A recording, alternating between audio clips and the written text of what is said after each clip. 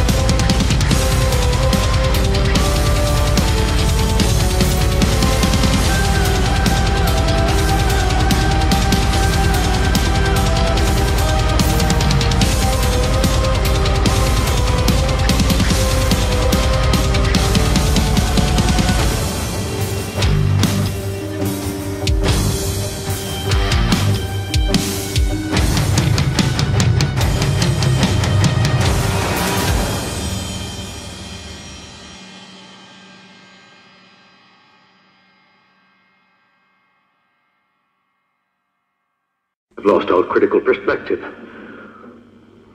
The signs, the warnings of this house, Freudstein's house, that anguish crying, and Sheila smiles. What can I do to make her believe me? Maybe I'm insane. Yes, this is all unreal. Freudstein's house draws me like an infernal magnet and frightens me.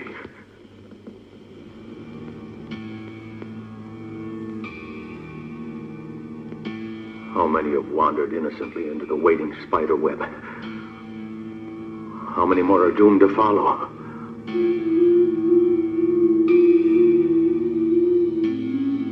The smell of the rooms terrifies me and lures me on. The smell of blood. How many more still to come? Onward. Into the depths of this mystery. I want to know. Know the worst. Onward. Find out. Find out. Freudstein. His voice. It's not his voice. Blood. Blood. Not only blood. Voice. I can hear it now. I hear it.